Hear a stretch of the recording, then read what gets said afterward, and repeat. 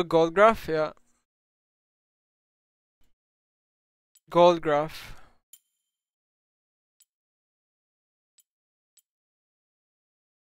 And we were down 7k gold. We were down 70k, 7k gold. And my team thinks it's unwinnable. Right here, somewhere right here is where we started winning fights. We were down like 6 or 5k gold and we were still winning fights. Because team comp diff is just this massive. Orianna looking funny strong. If I didn't press no, we'd surrender this game. Now, Orianna is really strong, it's just her early game can be weak. LeBlanc is a hard matchup. Thank you, Epikin, for Twitch. Oh, I'm also playing full scaling runes. It's a bit easier if you don't play full scaling runes on Ori.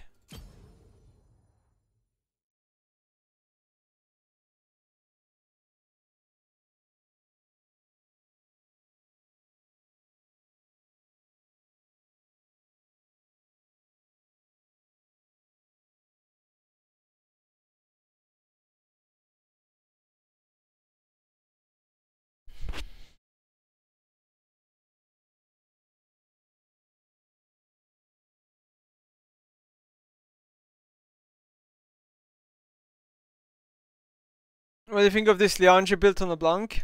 Um, so, in my opinion, it's like it's really strong early. Like first of all, he still plays Fleet and he still plays Kirch Kircheis shard, right? The item. So in early game, he's just as strong as the previous AD LeBlanc. So you like, it's hard to lose lane as this LeBlanc. It's just hard. You have to just you, you can't win lane against it. But then the difference is it doesn't buy static anymore, so it goes more into AP LeBlanc. So it relies more on AP spells. So then it's kind of like an AP LeBlanc. But yeah, and, and there's no mana issues because she goes Lost Chapter immediately. First of all, he puts point he puts three points into Q. He doesn't outright max W, and Q points. It doesn't matter. Like W points cost lot of mana. Q points don't. So your mana issues are not like, ma like mana is not an issue on LeBlanc. And then the moment you get Lost Chapter, like this, the change doesn't do anything.